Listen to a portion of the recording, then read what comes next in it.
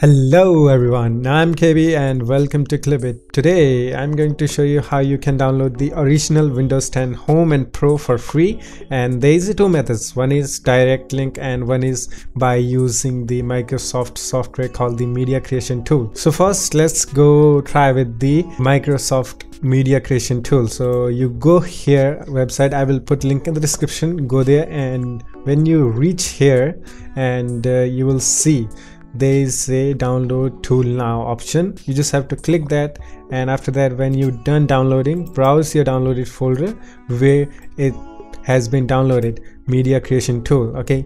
So then run it as administrator. Wait until it loads. It will take few minutes. It depends on your pc speed and network speed so it will check for your pc specs and etc things. Now it has loaded within a minute so it's saying getting few things ready. Now you will have to agree this term and condition. Just hit accept. Now you will have a two option. Upgrade this pc now or create an installation media for another pc so you can just straight upgrade your pc to windows 10 or you can just have an iso file.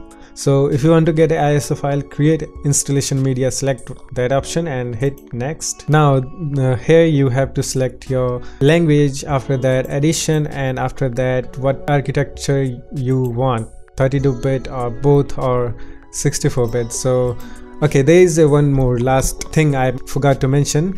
And uh, there is a three option to choose from windows 10 windows 10 home single language and windows 10 n only. So uh, windows 10 home single language means you will have a windows 10 home only. If you select the windows 10 only which has nothing at all just windows 10 it means it will include windows 10 pro and home. So while installation while you will be installing the windows it will ask whether you want to install the windows 10 pro or home. So if you want to get the home or pro you just select this first windows 10 only and hit on next. And you have to choose which media to use. So you can just get an iso file or you can just use the usb flash drive if you have usb flash drive it will automatically burn this iso to usb drive or you can just have a iso file select on one of those options whatever you like to use.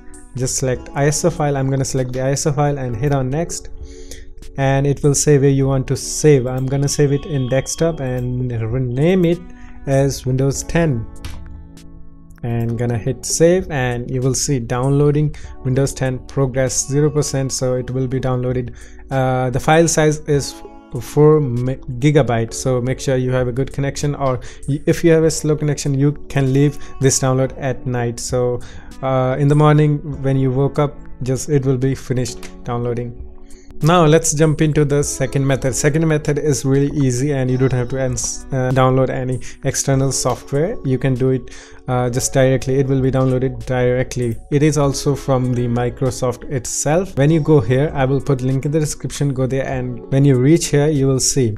Download windows 10 disk image iso file. So you can also read everything you, if you want to read. Then you have a option here. Select edition i'm gonna select the edition just like the windows 10 and then confirm and it will validate your request. You have to wait for a moment and while it's checking something and uh, then you have a new option here which language you want to choose. Then select the english and then confirm and it will validate your request again. And finally you have an option to windows 10 English edition uh, edition which edition you want to download 32-bit or the 64 so for example uh, my PC supports the 64 I'm gonna click on 64 and it will take a few seconds. And as you can see my IDM has already picked the download and I'm gonna show you the file size actual file size. As you can see the file size is 4 gigabytes. So make sure you have a good connection. If you don't have a good connection you can leave this download at night. So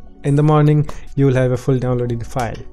Okay now at the last let's talk about the users asked me a lot about this like uh, is this with is, is this include the key? No it doesn't include any activation key or anything but while installation you can skip the key or you can always use windows 10 as long as you want without key. But there will be the watermark uh, in the desktop calling or saying activate windows only. So you can use as long as you want. So it is not not with key and uh, it is only a original iso file from the Microsoft so keep that in mind. So that's all guys. Hope you enjoyed it. If you did leave a like comment and subscribe. And yeah I will see you in the next one. Take care of yourself and have bye bye